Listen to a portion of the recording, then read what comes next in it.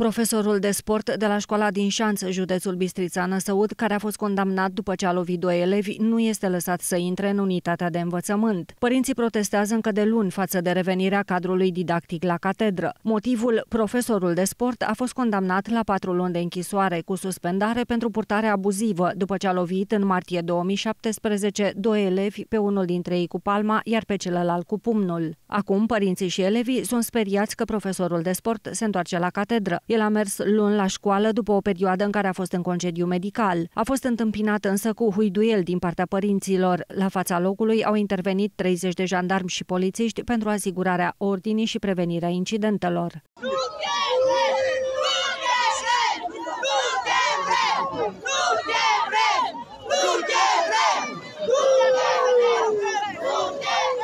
Conducerea școlii nu i-a permis profesorului de sport accesul în clădire, deoarece nu avea documentele medicale vizate de medicina muncii cu specificația apt. Atât luni cât și marți, discuțiile dintre cadrul didactic și conducerea școlii au avut loc în afara unității de învățământ. Potrivit Mediafax, conducerea Inspectoratului Școlar Județean Bistrița Năsăud a anunțat că în urma discuțiilor, profesorul a depus o cerere de învoire pentru două săptămâni, timp în care se va căuta o soluție. De asemenea, a precizat că părinții au înțeles și ei situația situația și au decis să nu mai protesteze în perioada următoare. Până acum, cadrul didactic contestat a susținut că este acuzat pe nedrept și că se va întoarce la ore să-și facă meseria. Conducerea inspectoratului școlar susține că după ultima discuție el a dat un pas înapoi și ar fi de acord cu o soluție amiabilă. Școala din Șanț și inspectoratul școlar județean nu pot lua deocamdată alte măsuri împotriva profesorului, deoarece este titular pe post, iar instanța nu i-a interzis să se întoarcă la catedră după expirarea pedepsei. Referitor la ceea ce s-a întâmplat în 2017, bărbatul nu era la prima abatere. Pentru astfel de incidente, el a fost sancționat de mai multe ori, inclusiv cu desfacerea contractului de muncă. Însă instanța a obligat inspectoratul școlar Bistrița Năsăud să-l reangajeze.